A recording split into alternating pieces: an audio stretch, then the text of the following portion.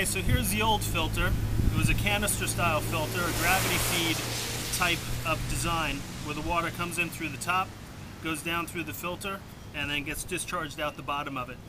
Uh, these are small filters for the size pond that we had. It's a really high maintenance filter. The idea basically is you can spin the top off easily or not so easily. And inside here, you have layers of material. You have a carbon pad, clarify the water, way too small. And then you have a sponge to keep debris and sediment from getting back into the pond, again, way too small. And then inside here is all sorts of plastic biomedia that's meant to break down the nutrients that build up inside the pond.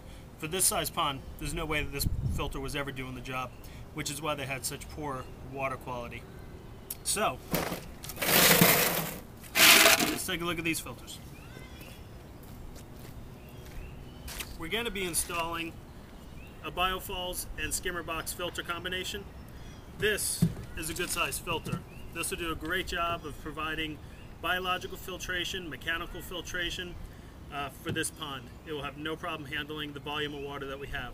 The skimmer box is a large skimmer box. It's going to house a 4,500 gallon per hour pump that'll recirculate the water back up top through this biofalls. Inside here are the components of the biofalls. You can see some really heavy duty sponges, three layers of heavy duty sponges, uh, about an inch or so thick each one. That's really going to do the job. That's really what you want to have. Um, the positioning of the skimmer box is kept in the corner across from the waterfall because we want to ensure that there's complete circulation from this area of the waterfall going over to the skimmer box for really effective filtration purposes. Okay, we have the protector going in, which is the underlayment. Now, in old construction techniques, people used to use sand, old newspaper, um, old pieces of carpeting, and stuff like that. But that really doesn't cut it. The problem with sand is that it really doesn't adhere to the sides of the ponds. Eventually, it's going to slope into the center and create a mound underneath the liner. Um, the newspaper and everything just really doesn't cut it. There's much better materials now. What we use here is a heavy duty felt material. Very strong. It adheres to the excavation that we've done and we've dug in the form that we've built it.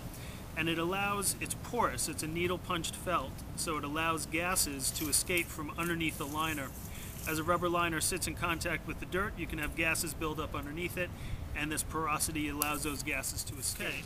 After the underlayment has gone in, which is our protective layer to keep from roots and rocks and edges and everything else that may compromise a liner.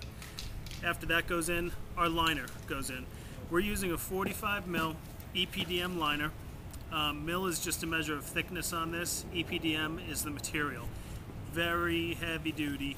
Um, it, it's hard to put a hole in this. You almost have to want to put a hole in this. These liners come with 20 year manufacturer warranties. They have 40 year life expectancy this is the way to go. Really flexible. It adheres to the way we excavate everything and keeps the shape of our design really well. Um, this is the way to go. We're going to cover everything with rock work after this so you don't see liner. It has a very natural presentation that way.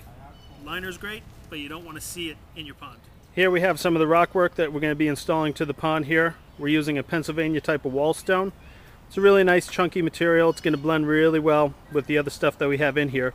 And right here is actually the artificial stone cover for our skimmer box.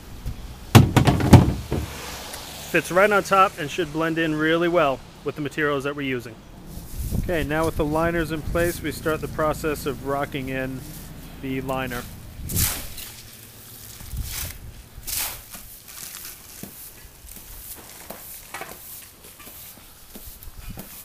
Okay, so now we got the pond rocked in and we're washing everything down, getting ready to give it its final rinse. Our new waterfall has been completely rocked in.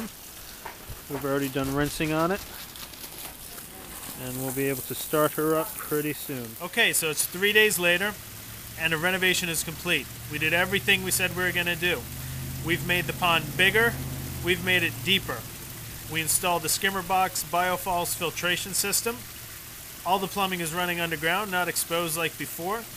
We put in the underlayment, the EPDM liner, covered everything with rockwork and gravel. We've installed an underwater lighting system with a transformer that's programmable to turn on and off when you want it to go. and we have about 4,500 gallons per hour of water moving through here. We used approximately four tons of stone. Uh, we reused a lot of the rock work that we had previously. Why, why not use that stuff? It was really natural looking. I think we used it to uh, its best advantage, and it really looks great now.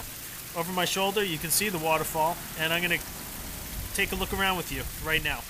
Here's the body of the pond. We made it about 10 inches deeper. Now we have two different levels. The level closer to the skimming area will be able to do plants. We have a deeper area, of course, for the fish to swim down and to give more volume. We have a nice waterfall entryway. And again, we're moving about 4,500 gallons of water through here. And at night, we'll have a light right underneath that cascade to light that up. We also have a light in the body of the pond to light that up. Our skimmer box is located right over here. You can see the artificial rock cover right there. Very lightweight, easy to work with when it's time to do maintenance. Here's the waterfall.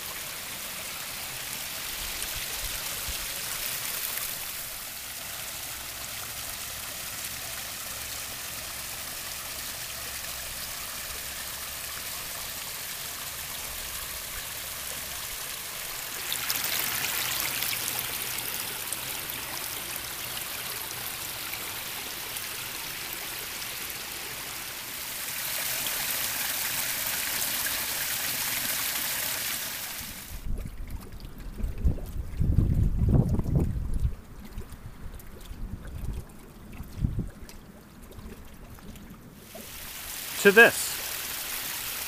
All in a couple of days.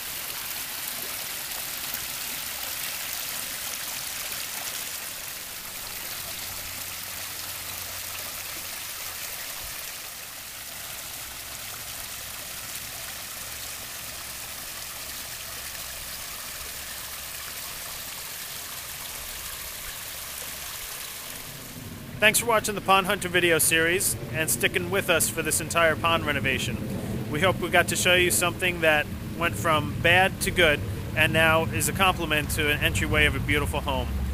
If you or somebody you know is interested in having a pond renovation, don't hesitate to call us or contact us. Shoot us an email. I'm sure we can help you out. Thanks again for watching.